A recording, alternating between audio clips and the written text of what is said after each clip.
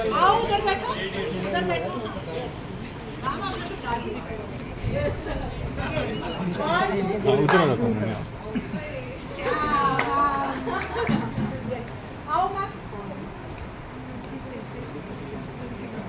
one two three start